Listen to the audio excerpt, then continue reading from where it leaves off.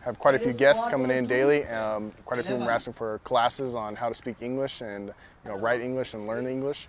Um, it'll greatly enhance their ability to transition into um, the general populace of America. And we have a couple um, well-speaking English guests who have offered their time uh, during this process uh, to teach those classes. Um, we based it off of um, four different levels, you know, elementary, um, just a speaking class, an adult class, and then an additional adult class later on in the afternoon. So a total of four classes, and uh, they operate at different times throughout the day.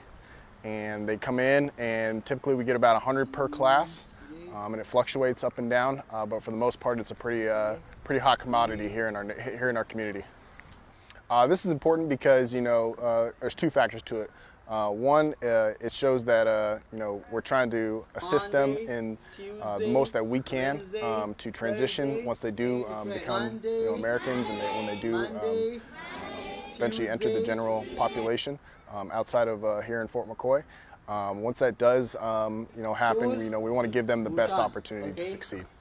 Uh, so personally, you know, both my both my parents are, are teachers, and so is my sister. It's her first year as a teacher. Um, my mother is an English teacher.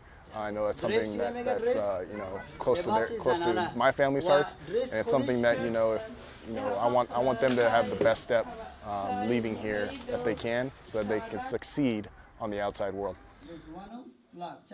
It is one o'clock. छान छान बजे it is one o'clock यानी याक बजे you can change the one